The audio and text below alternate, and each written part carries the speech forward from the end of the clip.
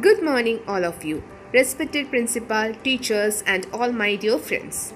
Today I'm here to speak a few words about waste management, one of the serious concerns that we all are facing today. When the industrialization had started, from that moment onwards, waste management had become a matter of concern. Nowadays, the situation is getting too worse as we don't have a safe waste management system. The wastes are getting disposed here and there that leads to environmental pollution. The gases coming from the unmanaged wastes are very harmful to the atmosphere and also to the living beings who lives here as they cause air pollution which leads to a lot of diseases.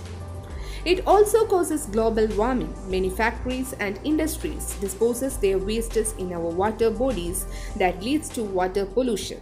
We know that many rural areas do not have sufficient toilets and those with access to proper drainage system which resulting in spills. There are a lot of ways for disposing waste such as recycling and reusing the usable portion of the discarded items, landfills, combustion or incineration, composting, waste minimization, etc.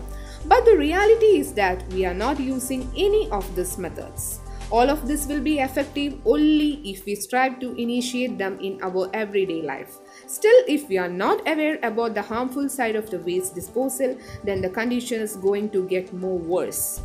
We human beings are the only reason for harming our environment and other living beings. So try to dispose the waste properly and bring a habit of proper waste management. Otherwise, tomorrow we all are going to face very serious health issues. So pledge yourself that you will follow a healthy way of waste management and you will save your natural